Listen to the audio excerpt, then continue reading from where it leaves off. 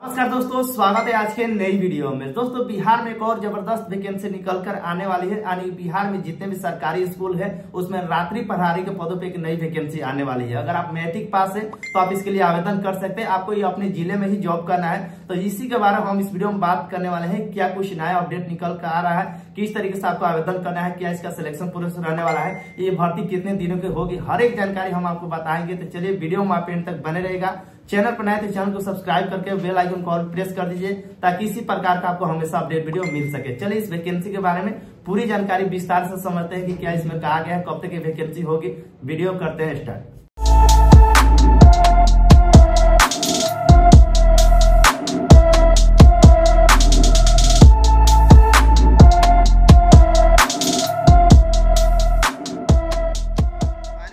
क्या कुछ नई भर्ती निकल कार्य उसके बारे में समझने के लिए सबसे पहले आपको इस वाले वेबसाइट पे आना होगा, जिसका लिंक हमने डिस्क्रिप्शन में दिया है। जो कि जैसे उस पर क्लिक करेंगे, डायरेक्टली आप इस वाले आर्टिकल पे चले जो कि देख सकते हैं, इसमें बताया गया है, यानी कि राज्य के, यानी पूरे बिहार में, यानी कि अट्ठाईस सौ चालीस स्कूलों में रात्रि पढ़ारी की बहाली होगी। अब यानी कि अट्ठाईस हज़ार जो भी एक सौ चालीस स्कूलों में रात्रि पढ़ाई की बहाली होगी तो किस तरीके से होगी, क्या इसका प्रोसेस बताया गया, कब तक भर्ती होगी, इसके बारे में समझने के लिए नीचे के लिए स्क्रॉल डाउन करेंगे तो दोस्तों, इसके रिगार्डिंग एक पेपर कटिंग जारी किया गया, जो कि देख सकते हैं, आपके डिस्प्ले पर दिखलाई दे रहा है। इसी में पूरी जानकारी दिया गया। तो चलिए आपको स्टेप बाय स्टेप पढ़ के बताते हैं, इसमें क्या जानकारी दिया है, कब तक ये वैकेंसी होगी, किस तरीके से होगी। जिसमें देखा गया, देख सकते देख सकते राज्य के अट्ठाईस स्कूलों में होगी तैनाती। मध्य विद्यालय में रात्रि परारी की बहाली होगी। ठीक है जो भी विद्यालय है, मध्य विद्यालय, उसमें रात्रि परारी की बहाली होगी।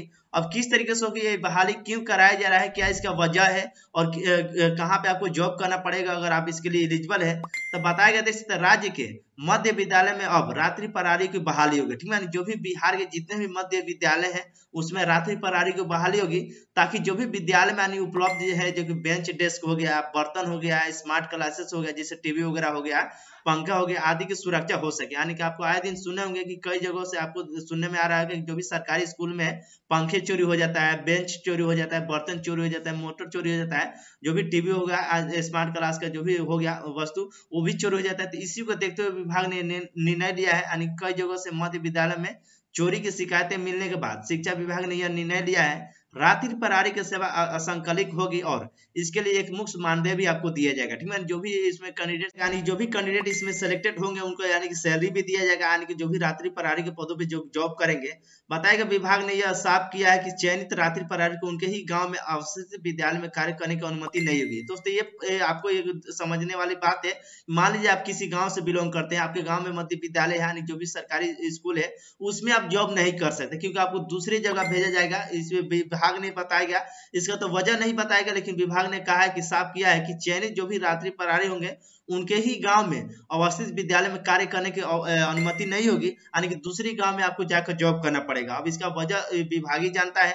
बताया कि विभाग ने इसको, विभाग ने इसको लेकर विस्तृत दिशा निर्देश भी जारी कर दिया गया यानी किस तरीके से होगी, क्या इसका टर्म्स कंडीशन यानी जो भी दिशा निर्देश है, यानी विभाग ने जारी कर दिया गया और जारी आदेश में बताया गया है कि राज्य में उनतीस मध्य विद्यालय है। इनमें से आठ सौ नवासी विद्यालय में रात्रि पढ़ाई की व्यवस्था हो भी चुकी है। ठीक है, जो भी उनतीस हज़ार उनतीस जो मध्य विद्यालय है, उनमें से आठ सौ नवासी विद्यालय में जो भी है रात्रि पढ़ाई की व्यवस्था भी हो चुकी है, यानी जॉब भी हो रहा है। बताया कि जिसमें आईसीटी लैब उपस्थित भी है, यानी कि जो भी आईसीटी जो लैब होता है, वो स्थापित भी है, और शेष जो बच रहा है, यानी कि अट्ठाईस हज़ार एक सौ चालीस विद्यालय में भी, यानी पाँच हज़ार रुपया मानसिक मानदेय पर रात्रि परारी रखे जाएँगे। दोस्तों आपको सैलरी की बात बात करें तो अगर आपके इसमें जॉब लग जाता है तो आपको पाँच हज़ार रुपया मानदेय आपको दिया जाएगा हर महीने।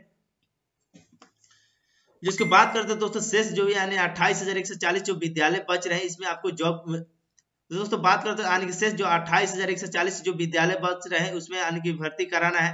भर्ती की बात करते हैं, आपको भर्ती अगर आपका जॉब लग जाता है तो इसमें आपको पाँच हज़ार रुपया आपको सैलरी दिया जाएगा प्रत्येक माह।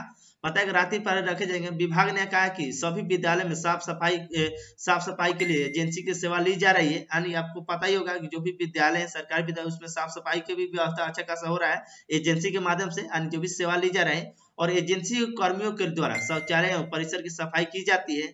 ऐसे में यह बेहतर होगा कि सफ़ाई कर्मी को उसी विद्यालय में रात्रि प्रहरी की ज़िम्मेदारी दी जाएगी। दोस्तों, ये इसमें बताया गया कि जहाँ पे भी विद्यालय में जो भी साफ़ सफ़ाई जो जो भी व्यक्ति करे हैं, उनको ही जॉब दे दिया जाए। लेकिन वो इच्छुक होंगे तो उनको जॉब दिया जाएगा, नहीं तो दूसरे व्यक्ति को रखा जाएगा। इसमें आप समझिएगा कि ऐसा नहीं बोला गया उन्हीं को रखा जाएगा, एकदम कंफर्म नहीं बताएगा। अगर वो इच्छुक होंगे कि हम भी रात्रि प्रहरी के पदों पर काम करेंगे तो उनको एक्स्ट्रा आने पाँच हज़ार रुपया दिया जाएगा। अगर इच्छुक होंगे तो अगर इच्छुक नहीं होंगे तो उनको अलग से मतलब दूसरे व्यक्ति को भी रखा जाएगा। तो ये बताया गया सफ़ाई की जाती है। ऐसे में बेहतर होगा कि सफ़ाई कर्मी जो है, उसी विद्यालय के रात्रि प्रहरी की ज़िम्मेदारी दी जाए। इससे विद्यालय की सुरक्षा भी होगी और सफ़ाई कर्मी का अत्यंत गरीब वर्ग से आते हैं, उन्हें पाँच हज़ार रुपया के अतिरिक्त लाभ भी मिल सकता है। ये बताया गया है। अगर वो नहीं करने के इच्छुक होंगे, योग्य नहीं होंगे कि हम रात्रि प्रहरी के जॉब नहीं करेंगे तो नए लोगों को इसमें भर्ती कराया जाएगा या मान के चलिएगा।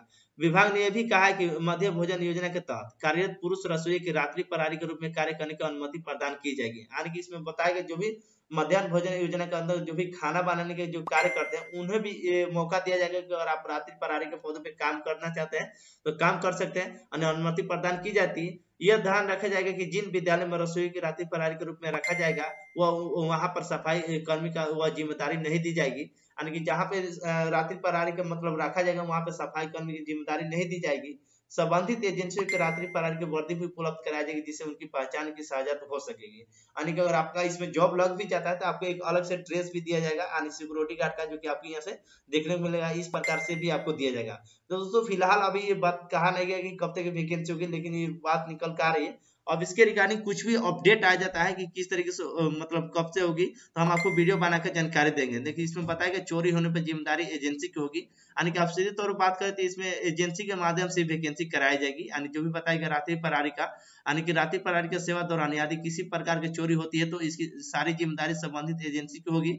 जो कि जिला शिक्षा पदाधिकारी एजेंसी के मासिक बिल से चोरी हुए सामान की समतुल्य राशि की कटौती भी करेंगे। यानी कि एजेंसी के माध्यम से भर्ती होगी। तो बस इतना ही अपडेट निकल कर रही है। वीडियो आपको कैसा लगा कमेंट करके ज़रूर बतलाएगा अच्छा लगा तो लाइक करेगा अपने दोस्तों में भी शेयर करें ताकि और भी लोगों को जानकारी मिल सके। इसके रिगार्डिंग कोई सा भी नोटिफिकेशन आएगा तो हम आपको एक वीडियो बनाकर जानकारी दे देंगे। तब तक हमारे चैनल को आप सब्सक्राइब ज़रूर करिएगा। चलिए मिलते हैं किसी वीडियो में। तब तक के लिए धन्यवाद।